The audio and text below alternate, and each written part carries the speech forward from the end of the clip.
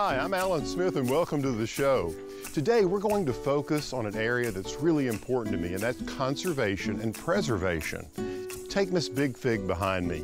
Miss Big Fig is a 100-year-old Celeste fig. She's a living example of a preservation. Let's get started by taking a look at the founder of the Ozark Society, Dr. Neil Compton. He led the Ozark Society in a 10-year campaign to save the Buffalo River from being dammed. We owe a lot to Dr. Compton and people like him who are passionate, they have vision and conviction. Even today, members of the Ozark Society still have fond memories of Dr. Compton as they carry on with their motto of conservation, education, and recreation.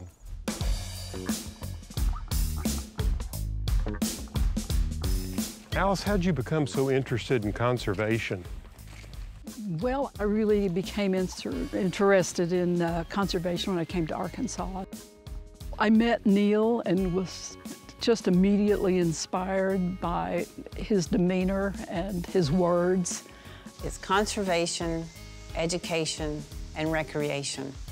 And really, they're all, they all intertwine was given to us by the founder, Neil Compton, and we pretty much stuck, stick with that. Anything from, oh, picking up litter or doing cleanup of the Buffalo River to educating people on threats to the river or watching our national forests and things like that. And then we do a lot of recreating.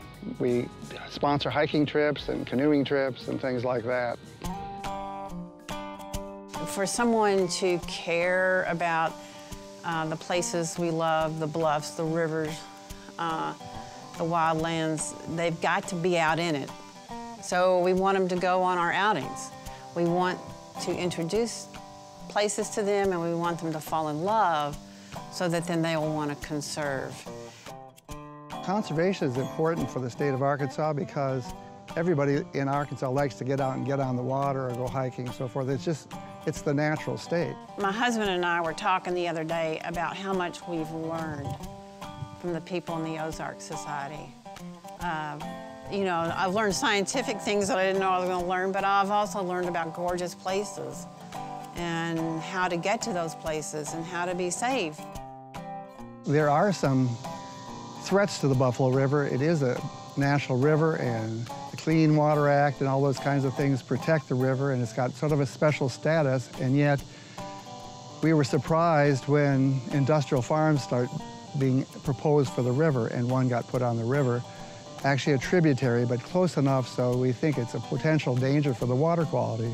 The water quality in the Buffalo River is wonderful, and for the most part, you can swim in there with no concern about whether you're going to be uh, in trouble in some way physically. But you know that every summer some places get closed down because of E. coli or excessive algae or something else. We just want to make sure that doesn't happen to the Buffalo River. We've had moments of just utter beauty, but it's also an outlet to express my desire for conservation. Places that I love, I want protected.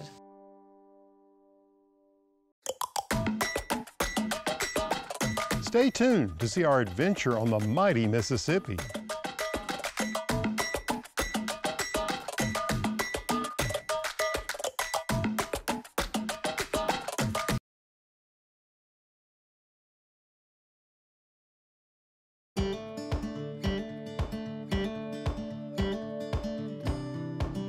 Hi, I'm Allen Smith. You know, there's nothing like engaging with nature. You can do it in many ways, by hiking, cycling, and of course paddling, which is a lot of fun. Just a short distance from Helena, Arkansas, along the Mississippi River is Buck Island. The public island has 900 acres of native forest and sand beaches. It's perfect for camping, swimming, bird watching, and nature photography.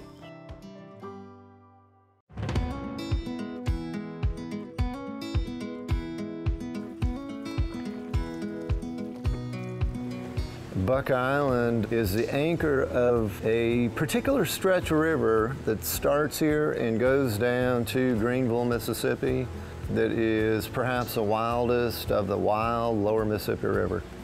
Saw a bunch of deer and uh, turtles, and a uh, bobcat in a tree. Conservation is very important in, in, eastern Arkansas. There's shorebirds and all kind of species are coming through and using the wetlands and the timber bottomland areas that's still around. Agricultural fields and other habitat all play a very vital role in the, in the uh, resource and make sure a survival of that resource. It creates this experience right here in the middle of the country in some of the most industrial agricultural land in, in North America. And that is the experience of wilderness, of being out in a big wild place all by yourself. Let's back a little ways up this, and then we'll come back out. Back paddle, everybody. Most of the land along the Mississippi River and the islands on the river are privately owned, which means that you don't have access to them. And that's part of the problem is that the Mississippi River is really owned by the elite. Only a few people have access to it. So Buck Island is a place that anyone is welcome to come to experience the beauty of the Mississippi River. It's the place where you can come boating, come bird watching, hiking. Um, there's so many opportunities for people to come and enjoy what the Mississippi River is like. We'll see a lot of warblers today. There are 50 of them, and they all have a little bit of yellow in them. And the most remarkable one is the prothonotary warbler, which is brilliant yellow. Buck Island is the perfect nesting place for our songbirds. Some of the most unique birds that we see probably during the migration are the white pelican, the wood storks, the roseate spoonbills. My experience with the river goes back till almost my first memories uh, of campfires and fishing on the banks with my family. And it's, it's just like it was um, 2,000 years ago. It puts you in your place in the natural world and it gives you time for peace and tranquility and it's beautiful out there. It's a river unlike any other river in our country and in North America and arguably the world. Um, I think its best comparison would be the Amazon or the Congo. The drops of water that are in the river right now have traveled from Colorado, they've traveled from Canada. All of us are connected through that river. I just think it's so important to get out on the river, get outside. Um, it's fun, it's good family entertainment, everyone can do it, it's, uh, it's, it's safe. It gives us an outlet to what is like a national park-like place that has been compared to Alaska in terms of its wildness. And you don't always see that when you're uh, crossing the bridge. You cannot experience the beauty until you take that boat ride over and walk those white sand beaches or go out into the woods. It is such a unique piece of property that you got to see it for yourself. And when you get out to these islands like Buck Island, um, Oftentimes there's no one out there but you and the deer and the coyote and the birds.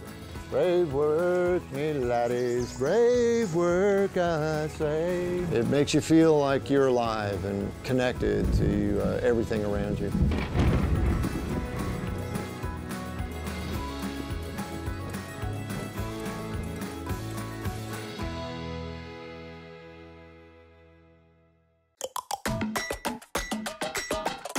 Look through the lens and focus on the talents of nature photographer Tim Ernst when we return.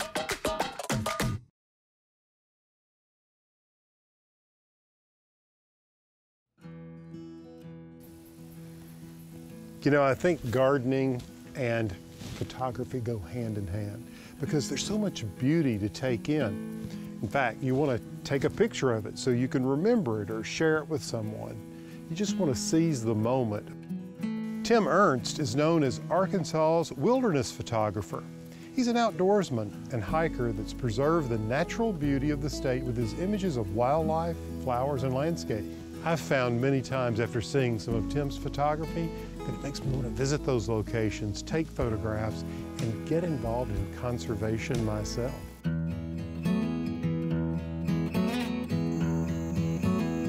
Let's walk across here and go in there. I spent a lot of my time taking pictures in northwest Arkansas, which is where I live, and the Buffalo River area is just 10 or 15 minutes away from here, and there's so much diversity. Being a nature photographer kind of gives me the chance to walk outside the door and anything can be my subject. If there's great light happening somewhere, that's the main thing I go after. Here's an example of where It was just kind of a serendipity moment where we lived near Hawksbill Crag and I shot there for about an hour and nothing much was happening, so I packed all my equipment and turned to walk away. And I turned around and looked, and the, the sky just sort of opened up and these God beams started coming down. I pulled out my camera equipment and shot four or 500 pictures of this scene. And this is one of my most favorite and most commercially successful photographs of all time. I can live anywhere on the planet and I can take pictures of whatever and probably scratch out a living, but I still live in Arkansas and plan to the rest of my life because I love it here year round.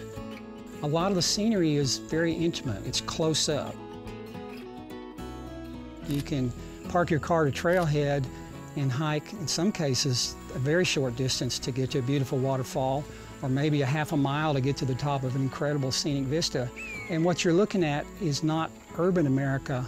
So much of Arkansas is still what I call wilderness America. I think one of my biggest uh, careers in life is to try and reach out and grab people and say, look at what we've got here in Arkansas, and you can go see that without too much effort, and get them to be comfortable going out, getting away from their uh, from the cities or wherever. The more people do that, the more people will gain a sense of appreciation for what we've got here. And it's my hope that later on in life, when there is a question about an area or an issue or something like that, they'll remember, they'll say, you know what, this is worth preserving. We want more of this in my neighborhood.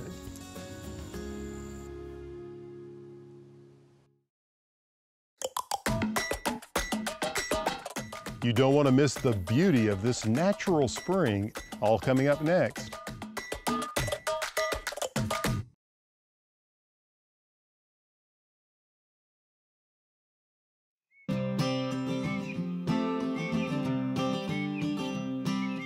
Love making strolls in the garden and just thinking about where so many of the plants come from. I'm often reminded just how many native plants we grow here at the farm. For instance, this one. This one is Agave americana, or the variegated agave, and it's a really extraordinary plant. Uh, you can see it's very architectural, and this is one that you would grow in the southern parts and the drier parts of the country. But we also grow things like purple coneflowers, black-eyed Susans. Some of these native beauties you'll see at the Blue Spring Heritage Center in Eureka Springs, Arkansas. The Blue Spring itself has been a natural tourist attraction since 1951. The spring water is a beautiful clear blue color and been tested as some of the purest water in the region. In recent years, new owners have focused on preserving the spring's early history and connection to Native American culture. It's clearly a nature lover's destination to add to their must-see list when visiting Northwest Arkansas.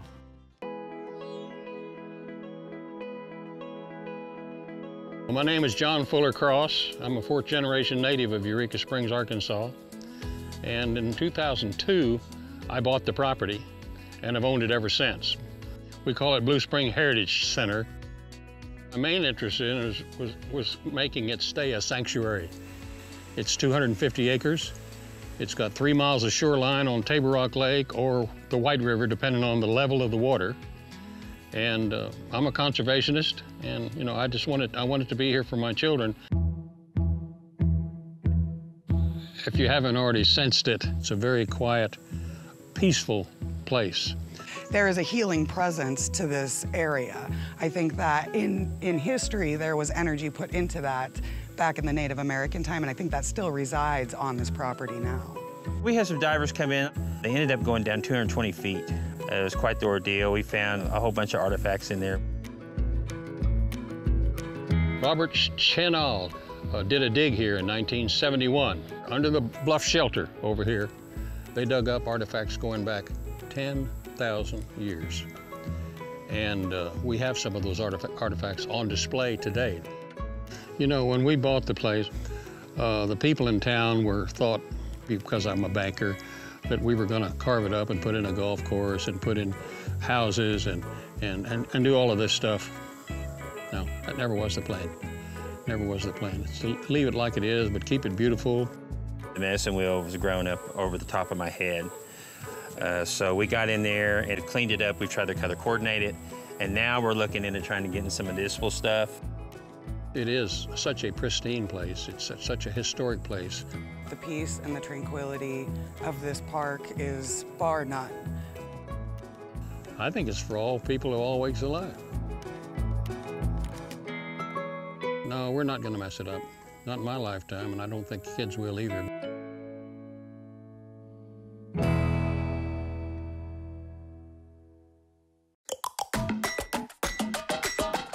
My friend Frank Reese stops by the farm and we discuss heritage poultry right after the break.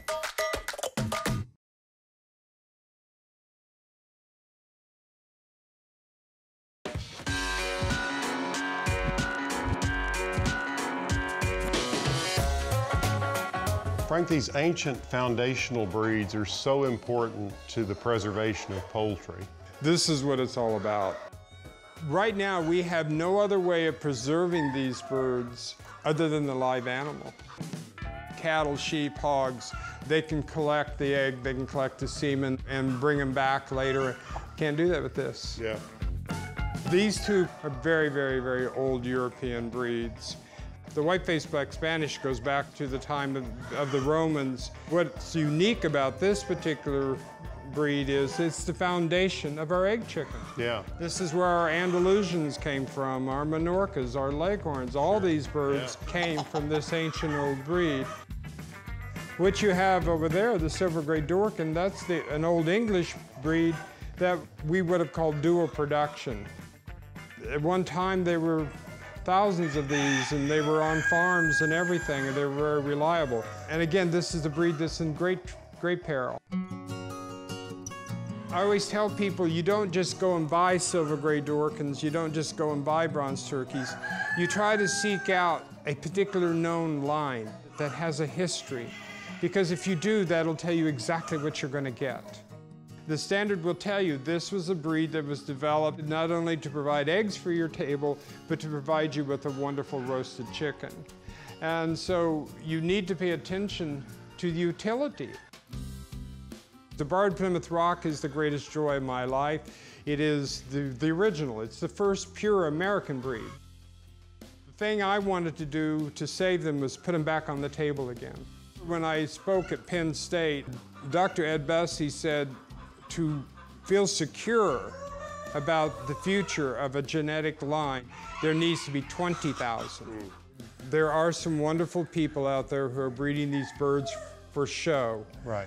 But to find people who are willing to bring them back, to get them back on the tables again, to get the eggs back into the store again, that's what we need. Yeah. People bringing them back up to that wonderful level that they were 50 years ago.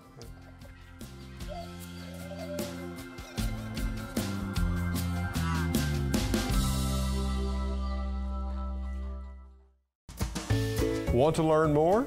Visit pallensmith.com for delicious recipes, garden tips, blog posts, and our online store.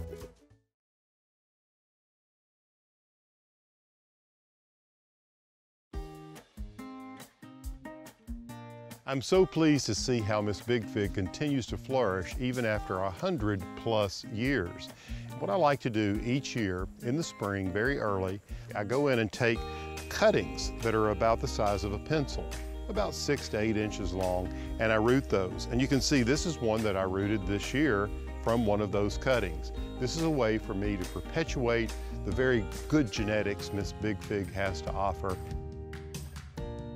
If you're like me, you see the importance of us conserving and preserving our land, water, animals, and of course plants.